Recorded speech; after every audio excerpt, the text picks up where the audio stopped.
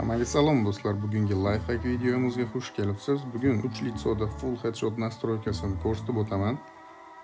Agarda siz akkauntingizni Zavaga olib chiqmoqchi bo'lsangiz, mana shu Telegram manzildagi admin bilan bog'lansangiz, hammasi tushuntiriladi. Xizmatimiz esa pullik. Videoga esa bitta like bosib, kanalga obuna bo'lib qo'yish esingizdan chiqmasin, kimgadir virtualniy ham yordamingiz teggan bo'ladi. Xo'p, qani ko'ramiz birinchi.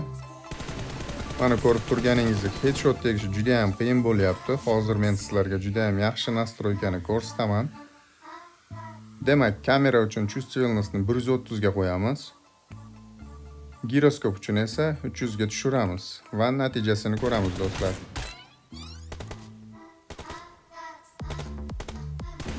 Video yoqqan bo'lsa, albatta do'stlar gulashib qo'yish esingizdan chiqmasin.